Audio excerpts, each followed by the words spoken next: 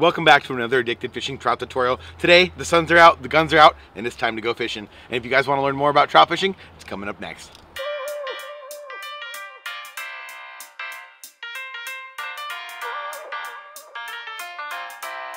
So guys, today I'm gonna cover my favorite top three methods that I like to use when I head out to catch trout in the summertime. There's many, many different ways to target trout in the summertime, but I think there's three of the most efficient, and that's what we're gonna be talking about. The first one is a spinner. There is a huge variety of trout spinners out there on the market. I'd say it's probably second to Bass Plastics. When you head into the tackle store, it can kind of be intimidating at times because you see this huge wall of spinners and you don't know which ones to grab. The key is to get a good variety. Before I talk about the actual spinners themselves, I'm going to talk about the rod setup that you want to use. Two of my very favorite rods is the Okuma Celilo and the Okuma SST. The Celilo is a little more budget friendly setup and the SST is a little bit higher quality. Both work very, very well for using these spinners, but honestly, I like the SST most. The SST rod I have in my hand today is a six foot six, two to six pound rod. This thing is an absolute riot to catch fish on.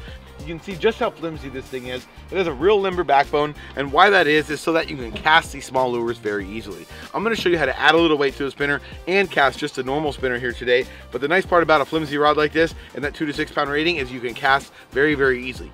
What also helps with casting that easy is using a lighter braided line. I like to use braided when I'm trout fishing, one, because there's a lot of sensitivity, two, because you can see where you're fishing in the river. Today we're gonna be fishing a lot of moving water and a lot of structure, so it's important that you can actually tell where your line is out there in the water so that you can properly fish. Anything from about an 8 to a 15 pound test is going to work best when you're casting small spinners for trout. The reason is it slides through the guides really easily and the main reason is because one, you have that high visibility, you have a lot of sensitivity with it, but that light line will cut through the water very well and allow your spinner to sink down towards the fish. So you're probably wondering, how do we not scare the fish with that high vis line? Obviously that stuff is very, very bright. The easiest way to do so is to by tying a blood knot or some sort of uni knot to a fluorocarbon line. Now if tying a blood knot or some sort of uni knot is going to be too difficult for you as a beginner fisherman, you can use a barrel swivel to create the separation in between your fluorocarbon and your braided line. Most times during the summertime, you're gonna have clear water, you're gonna have low water, so you wanna go down on your pound test so that you're not spooking the fish.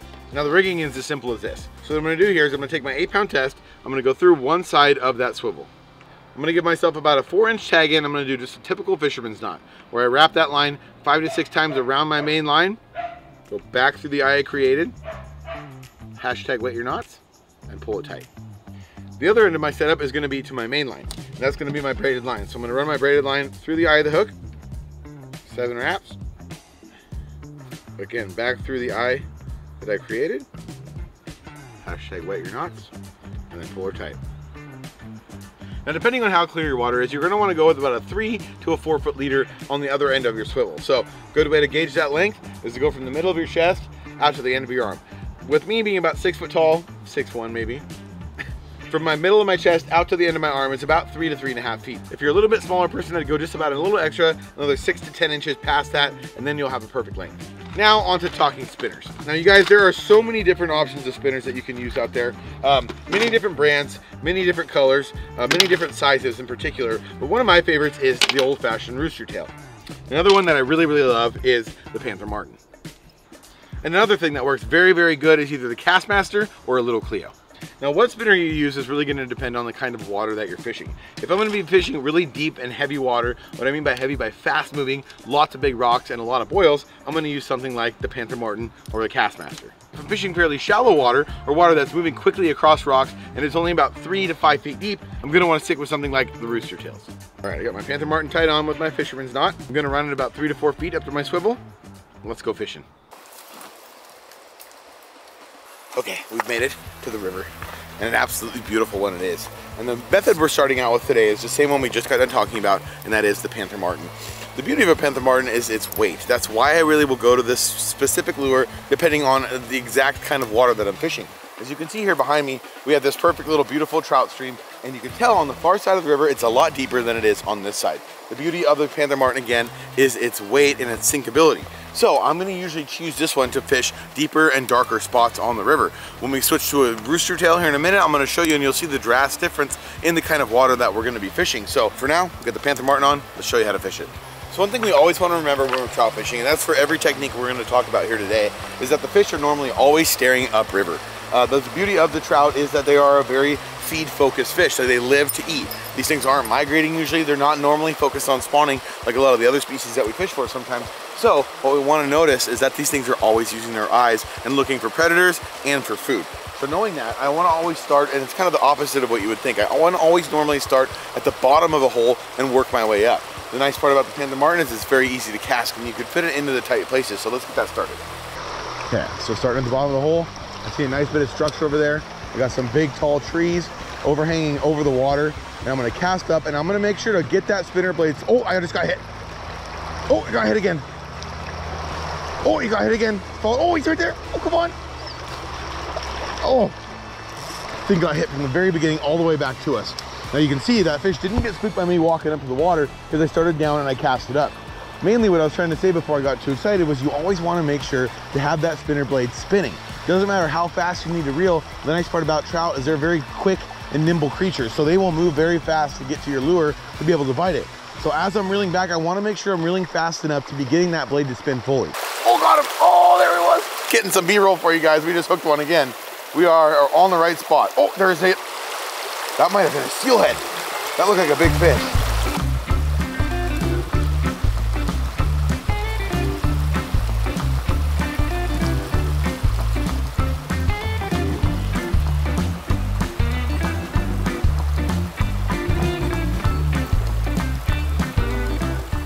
Now that I've kind of completed fishing that top part of the run, that stealthy part of the run where I'm casting up ahead of myself, I'm gonna start casting about five to 10 feet downriver with each cast, starting to create that counterclockwise motion down towards the bottom of the run. The real important thing is in a situation like this where we have the clear water is to not move your feet too much. That kind of goes off to the contrary of what I say a lot of times in most of these tutorials as far as wanting to cast, take two steps, cast and take two steps. I want to get myself in a stealthy position and work my spinner through that hole using the weight of that spinner as my ability to be able to cast to the area that I want to fish.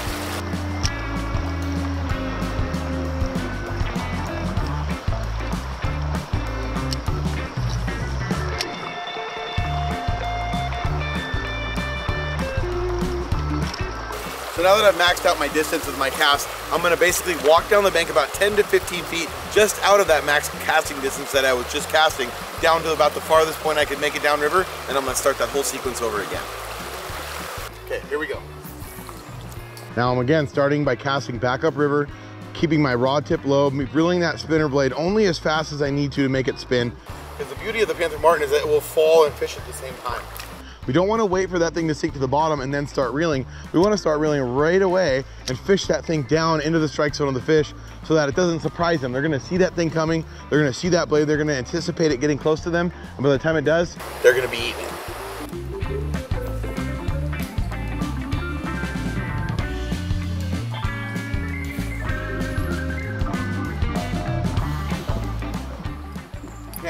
I've made that same sequence about two or three times. Now we're getting down into the big hole. That's why I want this heavy spinner. Let's go try it out.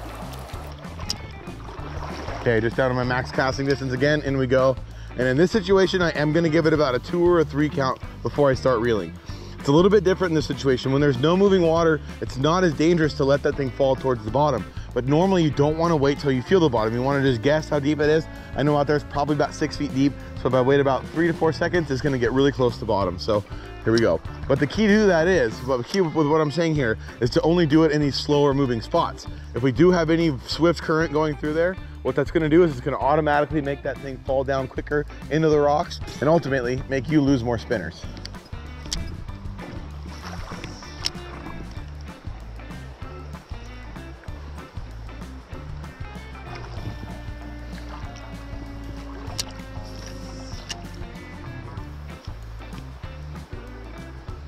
All right, now that we fished the Panther Martin through the fast water, I'm gonna show you guys how to put on the rooster tail and then add weight to it. Cut this bad boy off. Tie on your favorite color rooster tail, which in the summertime, mine is the white and the gold blade. Same knot, just normal clinch knot. Play your knots, here we go. Now to add weight to this, it's very, very simple. Instead of putting an inline weight or something that's cumbersome, or I'm gonna have to actually cut my line and put on, I'm just gonna use a split shot. And this is where having that barrel swivel in line really comes in handy. I take my barrel swivel, gonna add a piece of split shot, two pieces of split shot, take my pliers and crimp them both down.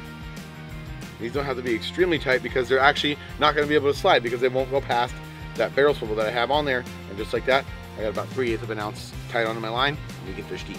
Let's go do it. All right, everybody, it's time for the rooster tail. And you'll notice this very, very drastic difference in the type of water I'm gonna choose to fish this is mainly number one, the depth, and two, the speed.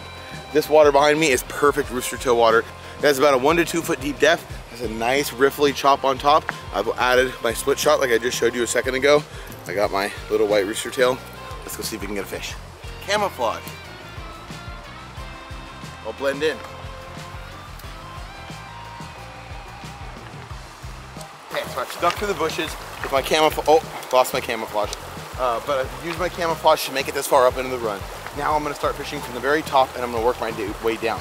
The reason I'm doing that a little bit differently is the castability of this thing. Because it's lighter and it's smaller, which is a great presentation, we're gonna need to start at the top of the hole and slowly work our way down. So we made our way to the top very sneakily and very stealthily. I'm gonna start by a nice medium cast out to the middle of the river. And again, just gonna reel just fast enough to get my blade spinning. That is the most important part of any of the spinner fishing tactics in moving water is that you don't reel them too quickly. If you have a, a trout that's aggressive enough and crazy enough, they'll come and hit it. Most often than not, you're gonna wanna reel just fast enough to get that blade to spin. You're gonna feel that slight tension, and then you're gonna feel that fish whack. Nice steady reel, got my rod tip at a 45 degree angle. I'm following my spinner the whole way down so I can maximize my sensitivity. And I'm making a nice, steady, same pace reel all the way back to me here. Okay, I'm gonna make a little bit longer down. Each cast that I'm making, I'm going about one third of the way across the river, more.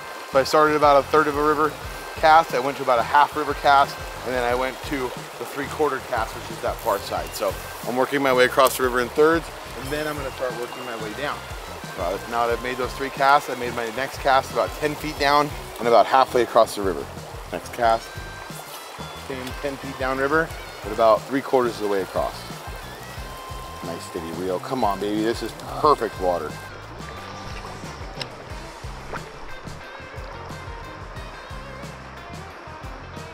Oh, there he is. I got him. Oh, he's gone. Dang it. Another fish lost. Now you guys could see that's that systematic nature. I finally worked my way down into where the fish actually was in the run. That's why using those one or those first, second, third casts uh, and then moving down river 10 feet at a time can be so, so gosh darn effective. Okay, same thing. And now that I've made it down to the bottom end of the run, I have a very steady current. I'm making about the same distance cast, three quarters of the way across the river and swinging it through. And then after each cast, I'm taking two steps down.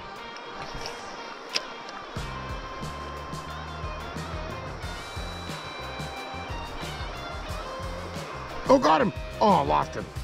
Dang it. Dang it. So many lost fish today. Once again though, I think it's because these things are particularly small. It's early in the summer. A lot of these trout haven't gotten a chance to grow yet.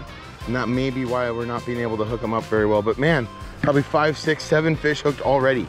Not a bad stat. Okay, we fished through this run thoroughly. Let's move on down into some pocket water. Yeah, nice little flick under the tree. This is the perfect situation for a rooster tail. Why I like them in this, this particular element uh, is because of the weight of that spinner. If I used a, a, Panther Martin here, I would have to reel that thing so quickly out of the strike zone just to keep it off the bottom that it wouldn't be an effective presentation. Beautiful part of the rooster tail is it really has a nice buoyancy in a situation like this with that fast water. So it moves nice and slow through that current. Allows me to stay in front of those fish longer. Just keep working on down here, one cast at a time. One cast at a time, 10 round fight. It's a 10 round fight. Oh, that might be the cast. That might be it. Oh, I got hit. Oh, man, just another little one again. That's the cast. Oh, another missed one. But that's okay. Because just down below us is the perfect scenario for the next presentation I want to talk to you guys about. All right, so now that we went over what I think is probably the simplest and the most effective way to fish, and that's with the spinners, we're gonna talk about our addicted fixed float setup. So what I have here is an addicted trout series fixed float. These are made by Mustad. We've helped design these. We spent a lot of time designing these things just so that they're perfect for you guys. Now for this setup, I'm gonna use a little bit different of a rod. The six six is not gonna be quite long enough. I want something at least seven and a half to eight feet long for this setup. There's of course Okuma SSTs that are this length, but I really like the Okuma Celilo. This one is a seven and a half foot rod and it's rated from eight to 10 pound test. Now for the reel size, I'm gonna use the Okuma Ceymar 30 series reel. Why I want that reel is because it's the perfect weight for this setup. It's not gonna make my rod too heavy, the line comes off it nicely, and again, I have that 15 pound addicted enforcer braid.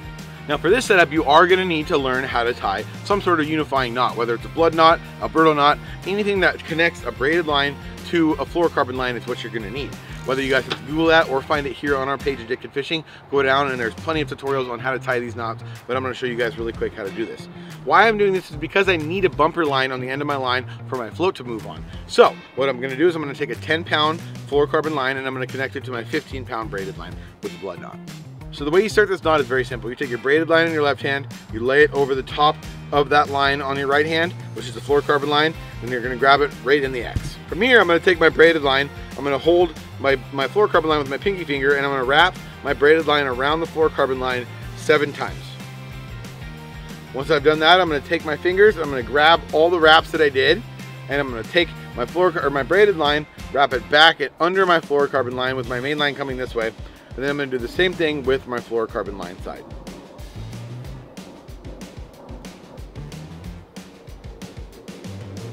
From there, I'm gonna stick that right back to the eye that I created from the side that's on my side. Pull them tight, make sure I have both ends tight, one going down, one going up. Hashtag wet your knot. There you have it. The way you can tell you did this knot right is when you have the line sticking out opposite sides of the, of the knot. Uh, if there's both sticking out one side, that knot's not right, and you're gonna have to retie it tag ends. Now on this setup, I try to have at least enough bumper line for the deepest part of the river that I'm gonna fish. I know that I'm fishing for trout today and I know I'm not gonna be fishing anything over about 10 feet deep. So I put about 10 feet of that 10 pound test on here and that should be perfect for my depth. Now to show you how to rig up the Addicted Fix Float. So the beauty of using this fix float is the simplicity of setting it up.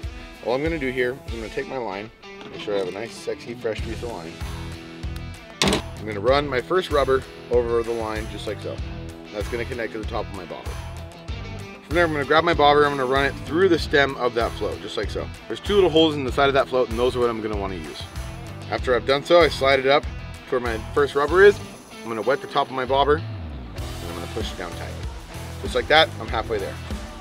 Next step is take my bottom rubber, put my line through it, just like so. Run it up to the bottom stem of the float, let that float a little bit, bam, we're ready to go. The beauty of this is it slides up and down your line. Simple as that. So the next step is to add a barrel swivel to my line. Why I do this is so that I can downgrade my pound test from that 10 pound to an eight or smaller when I'm putting out my next setup. So simple as this, you put it right through the eye, and seven wraps.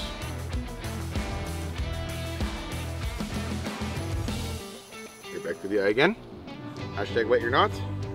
We're ready to go. So now what I'm to use is a four pound fluorocarbon line, about three feet of it. Once again, I'm to gauge my three feet.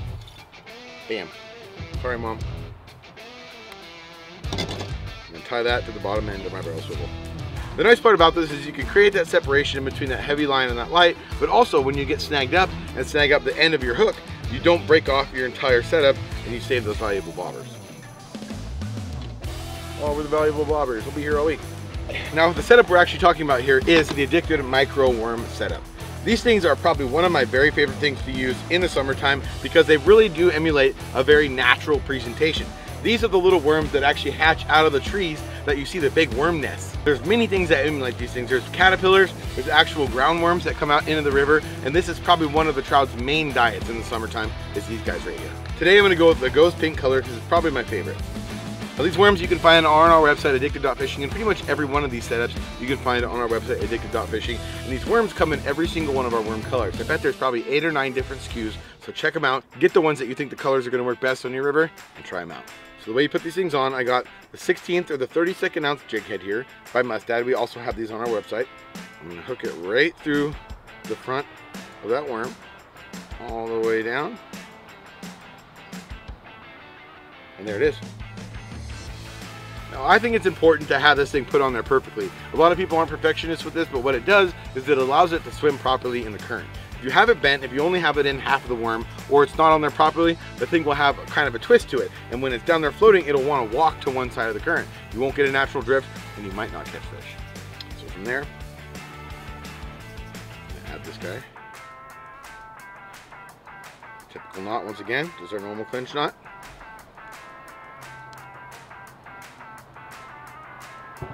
Back to the eye. Pull it tight. We're ready to fish. The thing about fishing a worm setup in this particular situation is you want to fish a lot around cover. The thing is that these little worms, these little grubs and stuff that these fish will be feeding on fall out of foliage and brush like you see here. A lot of those big, like I said, they look like spider nests, but they're actually worm nests that are up in the trees or little baby caterpillars. And that is what these little microworms really, really look like in my opinion. So situations like this where you have this overhanging brush, you have all this cover and all this area where these things will be falling out and onto the top of those fish so they can feed on them. That's where you're gonna find those staging fish trying to eat uh, a certain sort of uh, food species like we have here, which is the micro worm. So I'm gonna walk up to the top of the run here. We have an awesome brush line going down into this nice little hole. Perfect situation for a micro worm. Let's do it. So when in a situation like this, the worst thing you can do is start too deep. So one thing that is very nice about this fixed float is that you can really regulate the amount of depth that you have on your setup. So in a situation like this, I have a very, very shallow riffle over here. One thing that I want to check for is the most aggressive and uh, kamikaze style fish, if you will. The ones that want to just fly in and absolutely destroy whatever it is you're using. So I'm gonna go shallow as I can. I've run my bobber all the way down to a little swivel that I've attached. I got my worm down here. It's time to cast it. Okay, first cast I'm gonna be making is gonna be right up along this little brush line here. Right where those worms might be falling in. Keep my rod tip high. I'm gonna be managing that line the best I can so that it's not getting pulled too quickly down in front of my bobber. That is probably the, oh, oh that's a fish. Oh, oh, oh. I was just getting bit. I was getting absolutely tore up right there. Ooh, I better get it back in there. So as I was saying before, it's very, very important that you keep your line above your bobber here. And all that does, the only way you have to do that is just a nice, simple, delicate mend. And what I mean by a mend is just lifting your line up, making sure that it's above the bobber itself, just like you see here, lifting the line up, laying it above, opening that bail and letting that thing naturally float down into that hole where those fish are going. Oh, wow, that was a fish. Just got smashed a rooney. Bobber almost freaking completely drained. Man, there's a lot of fish in this little creek. I think a lot of them are very, very small though, from what I'm seeing from the bites that we're getting so far. We're really getting a lot of those really fast, sporadic type bites, so that's okay though. With every little one, there might be a big one. I'm gonna go about a bobber's length deeper. That's how I'm gonna start gauging my depth that I'm gonna start adding to my bobber. And we're gonna cast again. A little bit closer this time. Let's see what's in there.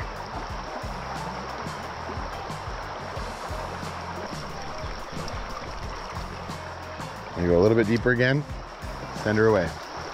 Now you guys will see here, the method to going a little bit deeper each time is really what will make you a better angler and will keep you from losing more of that valuable gear, uh, or too much of that valuable gear rather. So my strategy usually is again, I'll reiterate this again, start very shallow, work your way about a bobber's length deeper with every two casts, and work your way through the hole until you find bottom or a fit.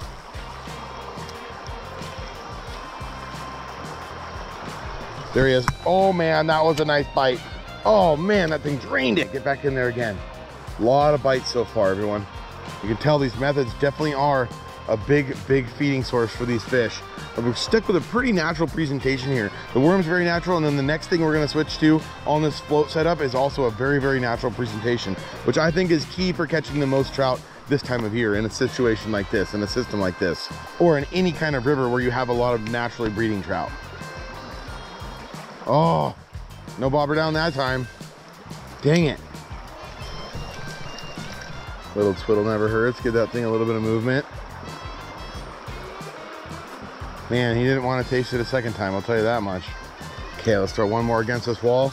And then in the name of science, we're gonna throw the Panther Martin because the key to being a good trout angler is versatility. Using multiple techniques, uh, moving your way through the river, you, switching up those techniques uh, when they are adequate to the type of water you're fishing, and fishing a river thoroughly. I think that is the most important part of this tutorial you guys should learn, is thoroughly fish rivers, and don't be afraid to change up your gear. Okay, putting this away. Grab the old faithful PM here to the rib. See if we get one first cast. Wouldn't surprise me. Now in a situation like this, because we have this deeper water, I'm gonna go with a Panther Martin. Normally, if I'm gonna fish any kind of faster water like we have up here ahead of us, I'm gonna go to the rooster tail.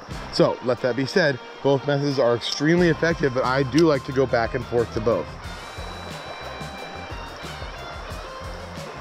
Oh, just got hit.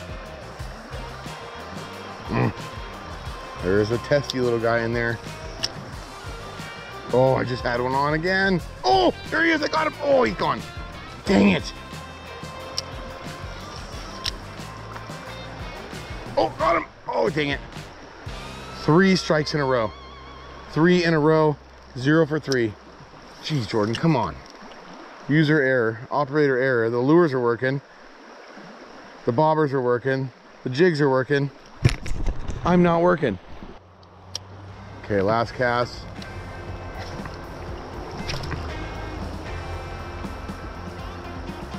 Maybe not last cast. I didn't quite get that one to where I wanted to. Zinger over there a little farther. There we go. Oh, that was good. Oh, something just swim away. Swim away. Swam, swim, swam, swami. Swanson. I don't know. You tell me.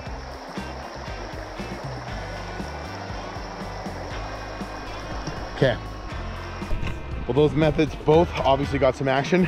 On to method number three. And this one I have a lot of confidence in, especially in a situation like this where we have a little bit smaller fish. Nonetheless, let's get it started. The next setup I think is something that's more underfished than anything else unless you're a fly fisherman. Uh, the reason that we're going to show you this is because it's just as effective using it on an addicted fixed float as it is on a fly rod, but it's much more user friendly. And that is a box of good flies.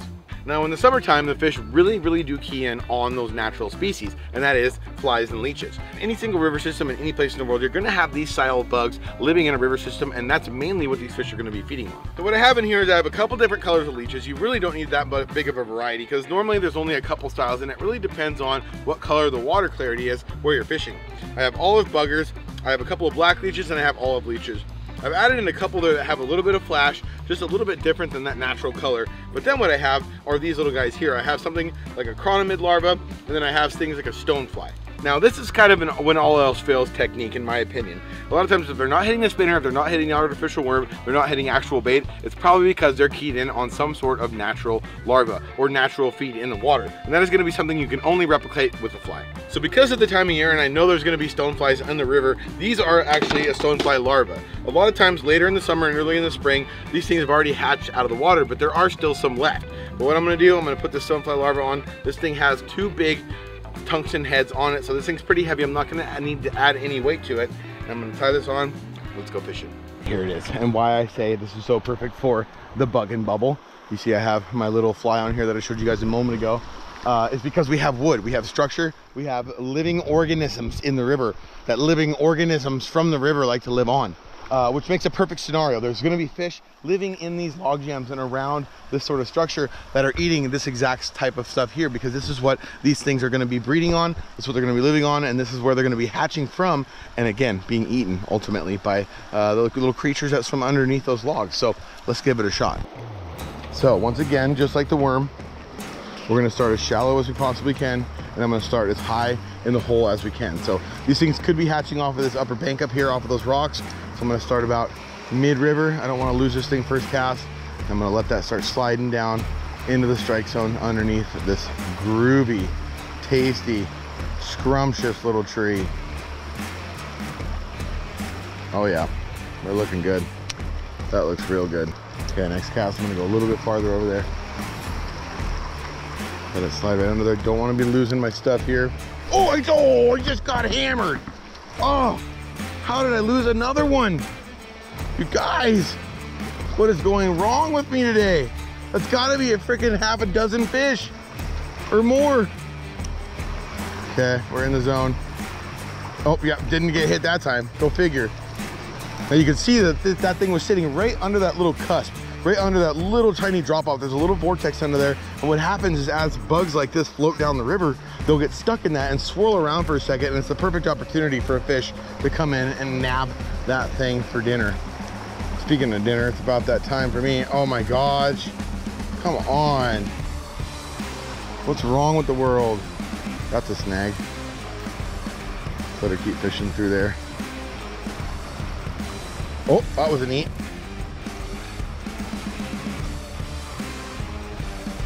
Dang it. These things definitely are liking this thing up and along this tree. Definitely liking it. I'm gonna go a little bit farther. I'm going crazy here. I'm gonna go way up and under. Way up and under, up under the bro. Oh, there he is. I got him. I got him. That's a fish. That's a fish. It's a tiny one, just as we expected. But you know what? It proves a point, and that's a fish. I thought my, I, I honestly, this whole time, everybody, I was thinking to myself, the one thing that's gonna catch these little itty bitty guys that I know are the ones biting is a natural presentation like a fly. And as you can see, I wasn't wrong. What I was thinking was right. Beautiful little stream trout with a big old bug in his mouth. That's what we came for, and it's what we got. A little bit of persistence, a lot of freaking casting, and switching up. You guys, like you said, the last thing I used of the day ended up being the most effective and being able to hook them because that was the actual food that these things were committed to. They weren't just hitting the lure and trying to kill it. They weren't just hitting it out of curiosity. They were hitting it because it's what they're eating and it's what they want. I really hope this tutorial helped you guys a lot today, uh, learning how to actually go out and dynamically fish a river, how to break it down, and how to actually have fun with uh, putting in a good effort trying to find some trout in the summertime. Along those same lines and saying that exact same thing, I want to ask you guys what kind of content do you want to see coming up here? What videos do you want to have next? What sort of ideas do you have for trout fishing tutorials? Let's see them down there in the comments. I'm so happy you guys were here joining me today. And until next time, you all stay fishy. We'll see you out there. Oh, perfect. Camouflage. I'll blend in.